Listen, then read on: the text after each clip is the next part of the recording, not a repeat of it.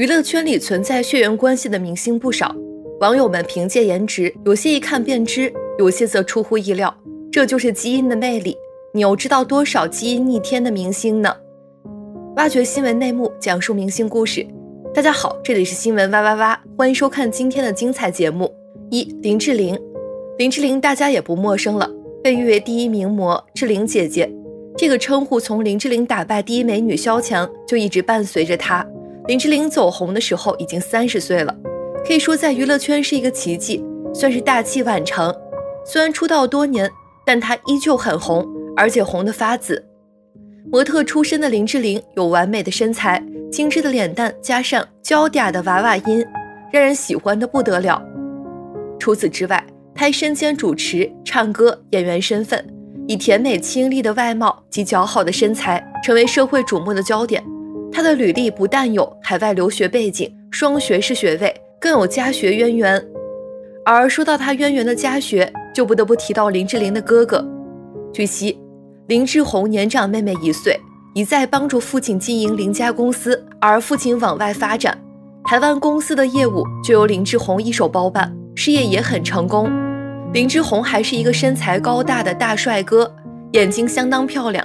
据林志玲所说。他从小与哥哥关系很好，虽然也有争吵，但影响不了两人的兄妹情。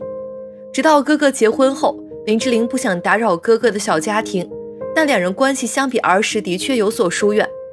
不过，即使有了物理距离，但在两人心里，各自的地位一直没变。二小珍，胡英珍是综艺天王胡瓜的女儿，受老爸的影响，她很早就加入娱乐圈发展，长相有个性。身材高挑的她，还当过很长一段时间的模特。据台湾媒体报道，先前在姐姐胡英珍脸书上亮相的艺人胡瓜儿子安安，让网友注意到这位神似赵又廷的新二代，让许多网友纷纷赞好帅。而胡瓜曾以《综艺大集合》《欢乐之多星》两节目入围金钟奖，有传闻他将带着儿子走红毯，他坦言原本确有此意，后来经过多番考量才作罢。不过儿子还是会到场观礼。对于安安未来的演艺路，胡瓜坦言已经有经纪公司来洽谈，儿子对戏剧有兴趣，也准备要开始培训和进行试镜。他尊重小朋友的选择，即使星二代会比一般新生代艺人更被大家放大检视，但他认为儿子已经成年，得学会面对。三吴珊如，之前吴宗宪曾在个人社交账号上晒出一家五口喊同框的照片。以及一张手工卡片，家庭照中可以看到吴宗宪上身穿了一件黑色 T 恤，下身搭配宽松休闲裤，头上还戴了一顶很抢眼的蓝色棒球帽以及墨镜，整个造型非常的青春有活力，十足年轻小伙子一般。同时出镜的四个子女坐在吴宗宪身边，穿着镂空网格上衣的是大女儿吴珊如，女成副业，当了主持人的她真的比从前上镜了非常多。简单的丸子头搭配圆框眼镜，欣味十足。而站在后面穿红色 T 恤，头戴黑色棒球帽，手上还戴了一只大金戒指的，是吴宗宪的幼子吴瑞。小哥哥长得不及爸爸年轻时帅气，但打扮一下也是一个清秀小伙。跟大姐吴珊如一样，吴瑞轩也已经加入了娱乐圈发展，还为自己改了个艺名，叫做露西派，在伯克利音乐学院读书。又是星二代的他。本来前途一片光明的，却因为说错话引起轩然大波。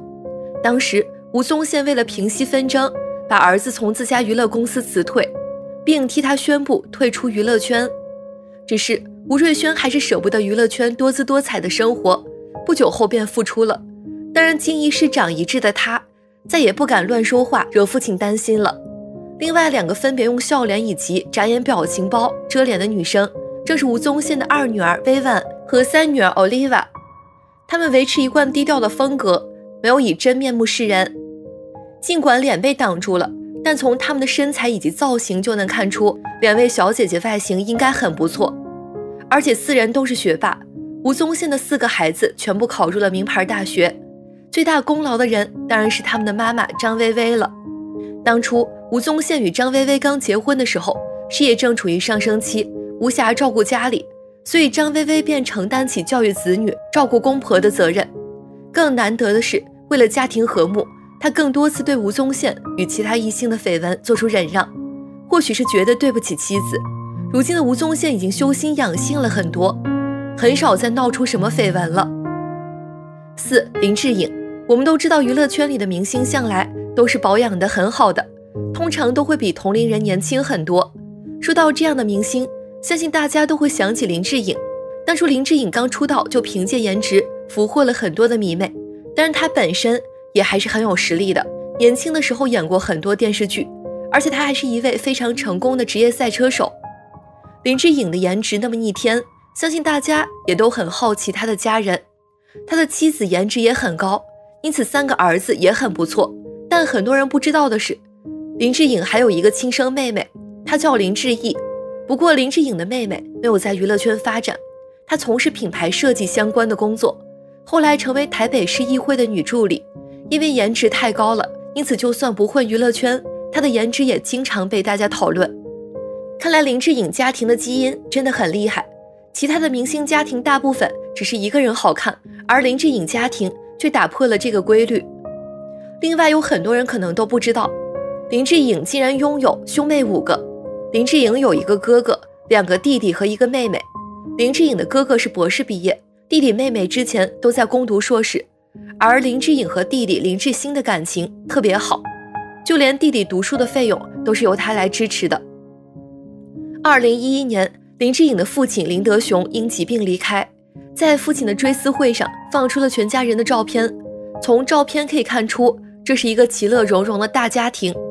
当时林志颖的胞妹林志毅还是一个女助理，她曾经在英国留学读书，一头黑长直发，简单的白上衣搭配牛仔裤。有个明星老哥的林志颖，清秀的外表加上特殊的身份，一到市议会打工当助理就成了焦点。即使有了明星哥哥可以当靠山，可是林志毅做起事来。努力的很，跑探业务、选民、处理文件等都是手脚利落，毫不马虎。对于未来，林志毅希望可以从事品牌设计的工作，和哥哥在不同的领域各自打拼，加油。五费贞玲，在台湾有很多传奇女性，今天我们就聊一聊费贞玲。费贞玲曾被称作东方玛丽莲梦露，一手捧红了弟弟张飞和费玉清，后来遁入佛门，成了台湾第一名尼。但你如果了解费贞玲真实的过往，你会觉得这个女人太有个性，太彪悍。费贞玲一九五一年三月出生于台北市。费贞玲年少时性格就很彪悍，十五岁时敢和父亲吵架，十六岁时在学校遇到不公平的事情，她敢找男生单挑。又由于父母离婚，她很早就懂得赚钱补贴家用。十七岁时，她看到台北市统一大饭店有驻场唱歌新真活动。于是报名参加，结果唱了几首就被负责人录取了。一年后，他签约中视，成了中式的艺人。费贞玲那时候唱歌有一个特点，就是穿着前卫。很多人不明白一个十几岁的女孩为什么要穿成这样唱歌，但是费贞玲比任何人都清楚。她说自己歌艺一般，唯一的优势就是身材还不错。如果想收获更多人的关注，就要在衣服上下功夫。事实上，她这样做。的确取得了成功。每当她演出的时候，现场总是很火爆，还被观众称为“东方玛丽莲梦露”“东方维纳斯”。紧接着，费贞玲不仅自己唱歌，还开启了费玉清的唱歌之路。他介绍费玉清进入当时台北市南京东路著名的娱乐场所唱开场，一来锻炼费玉清的唱歌能力，二来也能让费玉清赚些生活费。安排好费玉清后，费贞玲跑到日本发展。发行了五张专辑，她不仅在日本火了，而且她还在日本谈了一个男朋友。可是，在日本的她为两个弟弟的发展担忧，最终她和男友分手，回到了台湾。回到台湾后，为了捧红费玉清，她带费玉清去见了当时台湾顶级的音乐人刘家昌，让刘家昌签下费玉清。当费玉清在刘家昌面前清唱完一首歌后，第二天刘家昌就签下了费玉清。看着刘家昌把费玉清签下了，费贞玲也想让刘家昌把弟弟张飞也签下，结果刘家昌不同意，费贞玲就给张飞出了一个主意，让他先去做主持人，等主持人做好了再唱歌。张飞也只能采用这种方法了。结果谁能料到，张飞主持能力太强，他成了台湾的顶级主持人之一。而刘家昌为费玉清定制了一首晚安曲，凭借这首歌，费玉清跻身一线歌手行列。还好张飞和费玉清没有让费贞绫失望，他们一个成了知名主持人，一个成了知名歌手。那时的他们是台湾娱乐圈知名的张家三姐弟，看着两个弟弟的事业都走上了正轨。一九八二年，费贞绫却宣布退出娱乐圈，跑去经商了。在经商的过程中，他接触了佛法。并且在三十九岁决定进入佛门，费贞绫的这个举动在当时引起很大的轰动。费贞绫也不是开玩笑，他将自己的几栋豪宅全部抛售，获利三千多万。他将这些钱全部捐出去了。原本大家以为费贞绫遁入佛门后，关于她的新闻就会很少，结果恰恰相反，她修行佛法和别人完全不是一个路子。进入佛门后，费贞绫代言广告照接，综艺照上。她穿的袈裟颜色艳丽，而且价格昂贵，价值五百万一身的袈裟她都有。她还带女弟子到香港购物，去迪士尼玩，甚至他还收了四个帅哥徒弟，经常带着他们上综艺。这四个徒弟因此还有了佛界 F 四的称号。这样作风大胆的费贞绫，却又是一个十分孝顺的人。他会向寺院请假回家，陪父母打麻将，和父母聊天。这就是费贞绫。一位从东方玛丽莲梦露成长为台湾第一名尼的女性。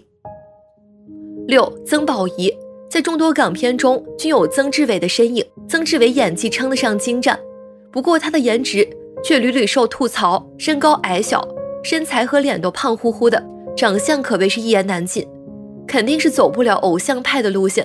但令人意外的是，他的一双儿女颜值都特别高。有网友曾爆出曾志伟儿子曾国祥结婚的消息，其实大多数网友都不知父子俩的关系，只知道他是《七月与安生》的导演。曾国祥虽年纪轻轻，却才华横溢，无论导演或者演戏都相当在行。网友发现曾国祥不止才华横溢，且又无比帅气，带着一股不羁少年的风范，同时又显露翩翩绅士的体面。他的姐姐曾宝仪也是美貌依旧，温婉漂亮。对比一家人的颜值，真难以想象这是曾志伟的儿女，长相差距甚大。姐弟俩估计都是遗传妈妈的基因。曾国祥最为人钦佩的一点在于，身为星二代的他不靠父亲的名声博关注，光这点就令很多粉丝崇拜。